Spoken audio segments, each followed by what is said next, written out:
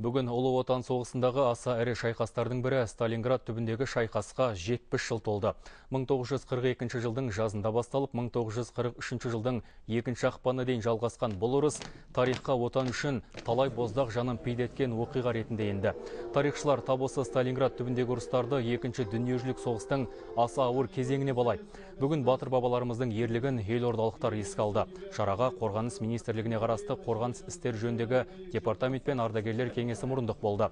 Сталинград ұрысына Ақмола қаласынан аттанған Қоңдыбай Сауранбайұлы жастарға сол заман сарбаздарының ерлігі мен отан сүйгіштігін әңгімелеп берді.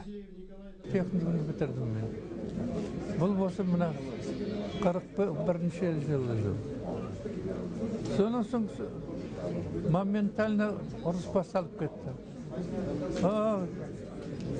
бар ма сенің әке шешең жоқ балам жоқ айда деп сағалап бар сол кеткеннен мол кеттім мен он сегізінші сентябрь бір мың тоғыз жүз қырық бірінші жылы жаңа ұрыста мен мына қолымнан екі жерден осы жарақат алынды